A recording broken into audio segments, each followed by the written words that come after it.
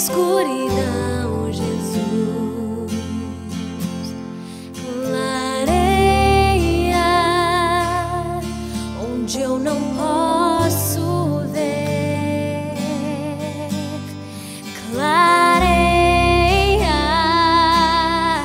a minha escuridão.